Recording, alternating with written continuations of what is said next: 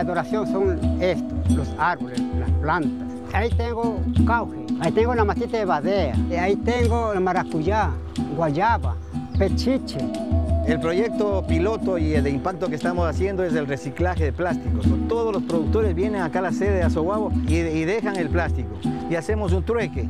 Entregamos el plástico y ellos nos entregan los palets eh, esquineros cortos y esquineros largos. Es un, le estamos haciendo ese, este programa sostenible.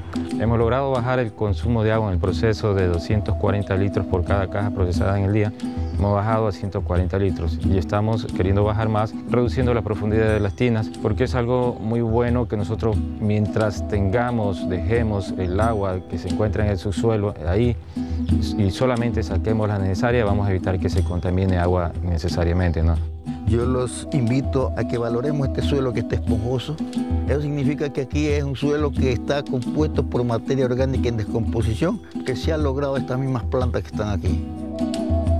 Me gusta la agricultura orgánica, porque uno se respira un, un aire puro, saludable.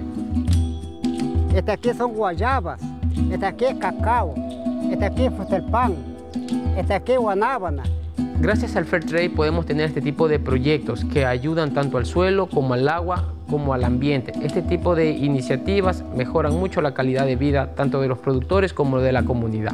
Consideramos de que a la naturaleza hay que conservarla, hay que defenderla de cualquier manera.